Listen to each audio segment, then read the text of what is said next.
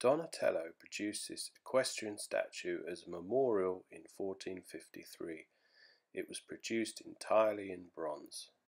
The statue depicts Erasmo da Narni, a military leader who was nicknamed Gattamelata. This was one of Donatello's biggest undertakings, with the final piece produced at life size. The soldier passed away in 1443, with the statue completed around a decade later. Piece was commissioned by the Republic of Venice as a memorial to their exceptional former general commander who had led their troops with great honour and dignity. It remains in its original location in the Piazza del Santo in Padua, Italy. The main statue was produced entirely in bronze but Donatello also achieved success in other materials such as marble, terracotta clay, and even wood.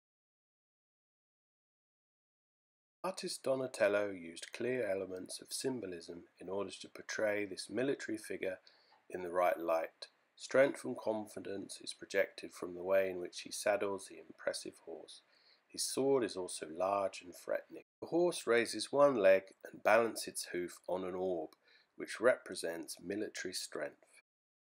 Two-sided relief design was added below the main statue, and then a large column would sit beneath them both, lifting Donatello's design high into the sky.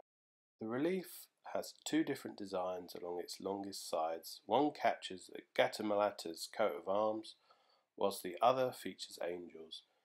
Upon completion, the statue was immediately erected in its present position within the Piazza del Santo in Padua and remains there today.